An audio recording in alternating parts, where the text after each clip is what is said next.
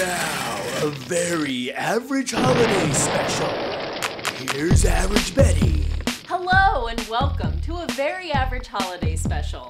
Due to massive budget cuts this year, we're without our 100 foot remote control menorah, and Jetpack Santa won't be dropping by.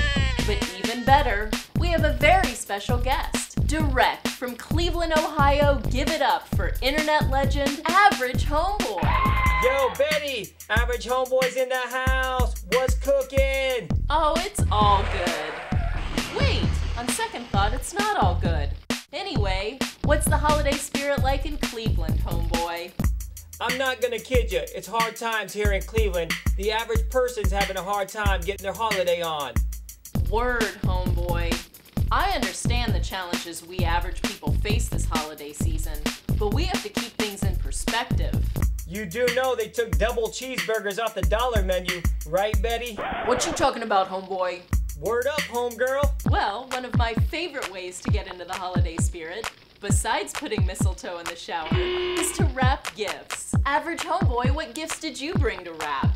Betty, you know how I roll. I brought you the gift of the R to the A to the P from Denny B. And I'm about ready to blaze it right now. Kick it, average homeboy! Ho ho holiday season average. Dang, why the economy tank? Now they wanna close my savings bank. Average. Tell the kids we got one more reason for another average holiday season. Scrap that train, forget that pony. This year we're only eating bologna. Average. A lot more socks? The value is greater than investment stocks. Our oil's tight, we're driving on E. I need something sweet down in my belly. They call me average, it's not just a phrase. I could cheer you up with some creme brulees. It's just an average holiday season. Creme brulees will keep you from freezing. Just an average holiday season. Creme brulees will keep you from freezing. Yo, have an average holiday. From average ho ho homeboy. You just got blazed. Well, in honor of getting blazed, let's blaze up an awesome holiday dessert. Yo, Betty, better make it creme brulee. Blaze. In a bowl, whisk egg yolks and sugar. Families are feeling it nationwide. There's no extra money to pimp your ride. Add vanilla. Creme brulees keeps the party going. Smells so good, my appetite's growing. Stir in heavy cream and a pinch of salt. Creamy, smooth, just like this beat. I'm loving this blazing holiday treat.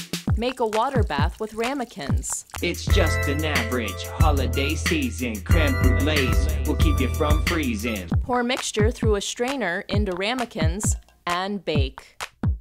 It's what I like when I blaze the mic. Average Betty knows how to serve it up right. Cover and allow to chill in the refrigerator.